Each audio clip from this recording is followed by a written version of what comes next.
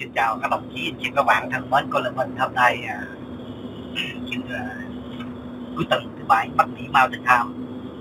À, xin chúc anh chị các bạn ở quê nhà. Luôn luôn à, phấn đấu và vươn lên để cũng như à, đồng hành cơ quan nhà nước để vượt qua cái cơn đại dịch.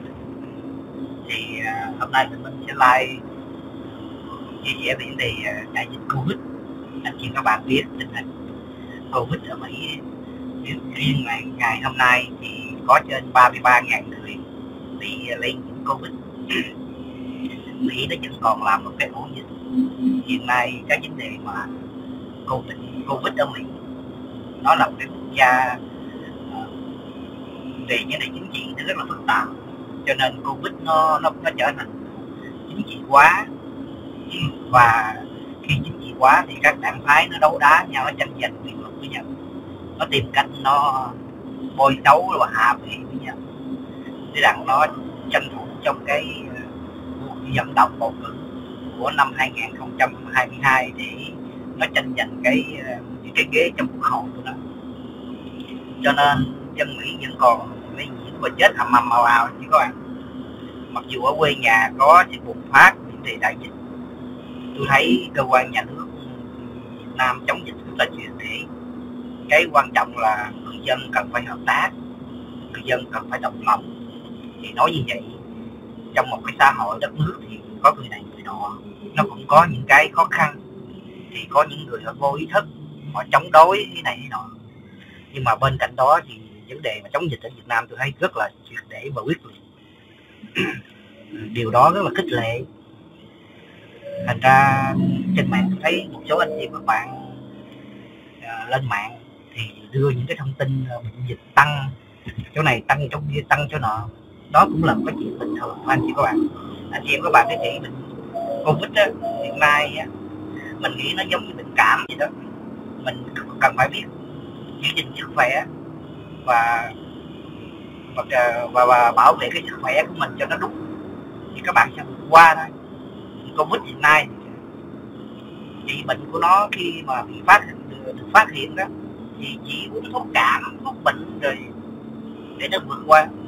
Mà nếu mà mình sức khỏe mình tốt thì nó sẽ qua rất là lẹ. Cho nên các bạn không nên quá quan mang. Mình cứ bình tĩnh và tin tưởng vào những người lãnh đạo để họ chống dịch cho nó triệt để và nó tốt. Tôi thấy một số anh em các bạn quá quan mang, tại vì các bạn không sống trong cái vùng vùng mà ổ dịch như tôi thì tôi thấy đời sống nó cứ bình thường, mình cứ thông thả thôi. Thì các bạn cứ nghĩ được khi cái mùa mà cảm cúm nó tới thì nó hoành hành, thì cái bệnh dịch này nó cũng là một loại cúm mà loại loại nặng, loại đặc biệt. Cho nên cứ bình tĩnh.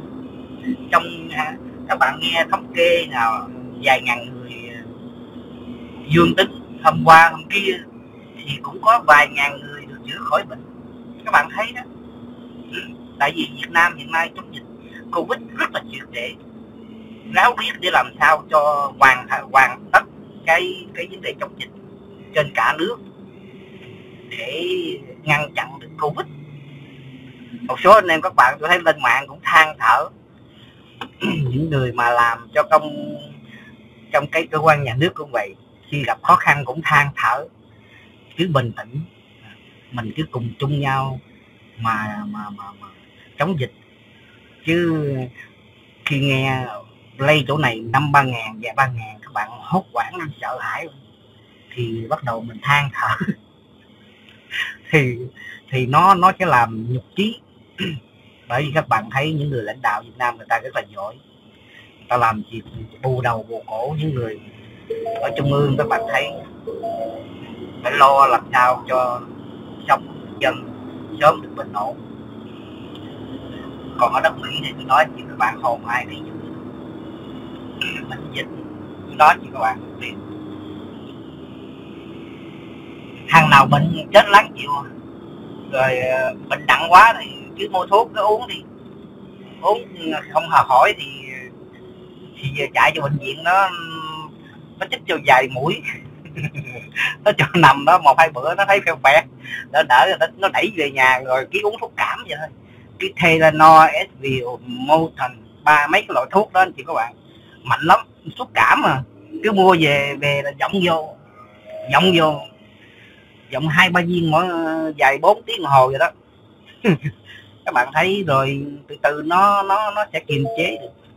Ở Việt Nam mình thì các bạn thấy các bạn có một cơ chế một cái đất nước mà tôi thấy phải nói là rất là cảm động những người mà bị bệnh covid khi mà phát hiện đó, cơ quan nhà nước người ta người ta tới mà người ta bồng, người ta ẩm, người ta đem vô bệnh viện, người ta trị trị khỏi xong rồi mới cho về nhà.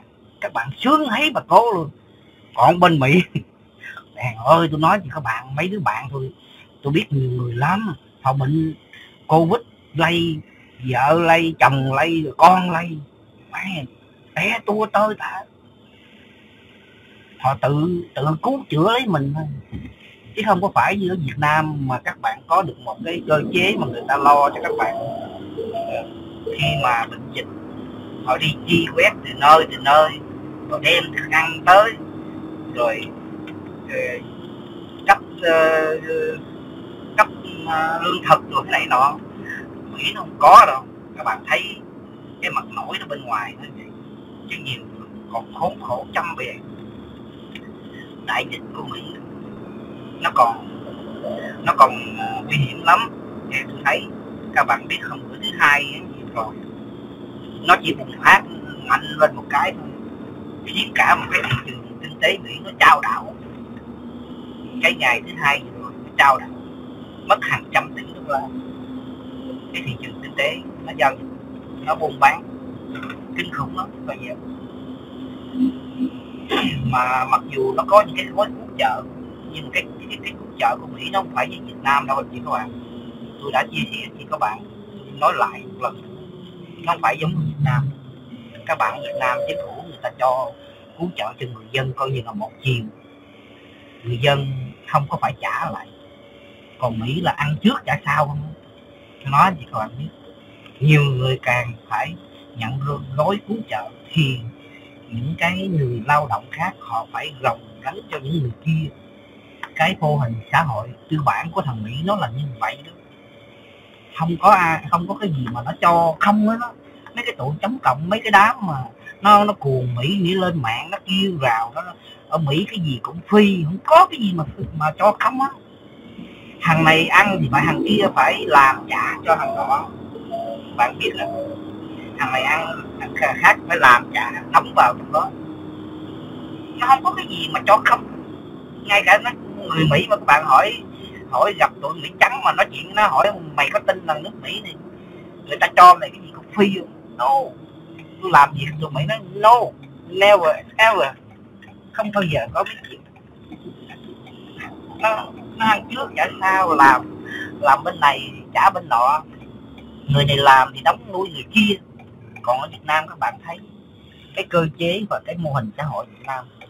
Khi chính phủ mà mà trợ cấp cho người dân là một, là đi một chiều, người dân ăn, người dân được để trải qua cái cái cái cái đại nạn, rồi người dân sẽ đứng trên đôi chân của mình.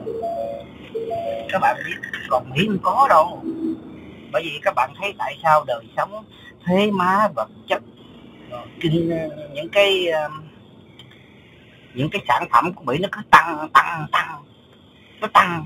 Phải mà càng nhiều người ngồi đó ăn phúc lợi xã hội hưởng những cái phúc lợi đó là những cái người khác mọi thứ nó phải tăng giá lên để nó bù lỗ lại. Thằng chính phủ mỹ các bạn biết nó đi vai nợ.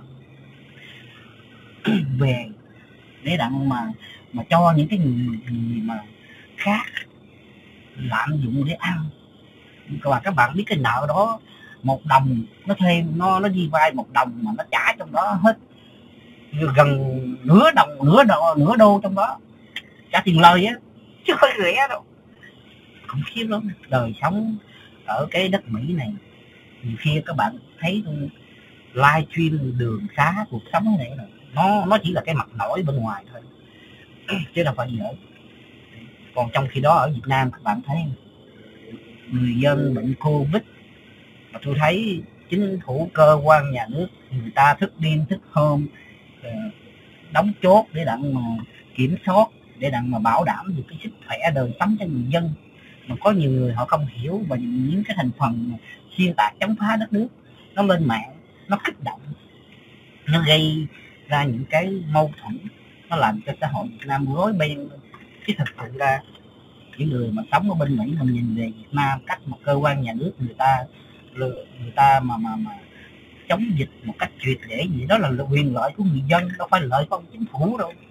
Các bạn thấy những người mà hiện nay, những người làm trong cơ quan những người ta làm việc gọi là overtime, double time nghĩa là họ làm việc ngoài sức ngoài sức mà mà mà cái sức lao động của họ phải làm để mong làm sao cho đất nước sớm bình yên. Cho nên anh em lên mạng tôi thấy dở facebook rồi càng rồi chỗ này tăng trong giờ tăng. Cái đó là thôi khi mình chống dịch một cách triệt để thì mình phải uh, chống tới tới tới bờ tới bến tới tới đích tới nơi tới chỗ cho nó nó nó nó, nó đúng cho nó uh, triệt để để đặng cho mà nó nó mang lại cái cuộc sống bình yên. Các bạn thấy hôm qua thì tôi có nghe một người kể cho tôi cái câu chuyện là cái ông bí thư thành ủy ở cà mau đó, tỉnh cà mau là tuyên bố là những người dân ở cà mau ừ, chính phủ tài trợ điện những cái nhu yếu phẩm là ừ, được tài trợ ừ, những cái mà về trả tiền lời, ngân hàng, những cái để đó được được được miễn trong lúc mà mà mà gặp đại dịch khó khăn để người dân cùng chung nhau vượt qua. Các bạn thấy không? Rất là tốt. Đó là những cái người lãnh đạo người ta có tâm có tầm để làm sao cùng với người dân vượt qua đại dịch. Còn phải ở bên mỹ để có được mấy thằng tài thì chèn tôi tôi nói thì các bạn biết cái mùa đại dịch thì có nhiều thằng kiếm tiền tỷ đô chứ không phải giỡn. Tụi nó tụi, tụi mỹ mà tụi tư bản mà tài thiệt các bạn biết nó sống trên xương máu của nhân loại nó làm sao là nó nó nó nó kiếm được tiền là trên hết. Tụi bay tụi bay chết kệ tụi bay tụi bay chết thì đem chôn vậy thôi. Đói thì tao cho tụi bay ăn. Thằng tư bản nó khủng khiếp lắm. Bởi vì có nhiều người, các bạn thấy ở trong Việt Nam thì đấu tranh ghê gớm lắm. Cái gì cũng xuyên tạc, chống phá. Rồi cuối cùng qua được tới cái nước tư bản, qua được tới Mỹ rồi thằng nào thằng mấy con nào con mấy nó còn thua con chó nữa các bạn thấy. Giống như cái thằng Nguyễn Lân Thắng tối ngày leo lên mạng ngồi đó rồi xuyên tạc chỗ này xuyên tạc chỗ nó nó thằng đó mà qua được Mỹ rồi coi như đời nó là tiêu. Ở chỉ nói ở trong Việt Nam thì nó làm mây làm gió nó làm ừ, trời làm đất mấy thằng nó được gọi là mấy thằng phản phúc. Cái thằng thằng nó ngu xuẩn các bạn nó mơ tưởng nó ảo tưởng nó nhìn Việt Nam, cái gì cũng ờ, giống như là là sắp sửa sụp đổ. Mà mấy thằng lội đó mà nó qua được nước, mà nước ngoài rồi tôi nói thì các bạn, dân bản xứ nó cốc đầu thua con chó. Cứ phanh tay dạ thương vân cái cái người cái người việt của mình, những thành phần mà chống phá xuyên tạc đất nước ở trên không gian mạng này, tụi nó chỉ có giỏi cái mồm thôi. Tôi nói thiệt á khi mà nó ra ngoài đời thật rồi bắt đầu tới được nước ngoài rồi cũng vậy. Dân bản xứ cứ là lum khum đi lum khum lum khum rồi, đi đâu có dám ngóc đầu lên. Thôi mình like cái đây, xin chào anh chị có bạn trong diễn đàn nha. Mình phải đi chợ. Bye bye bye bye bye bye bye bye bye bye.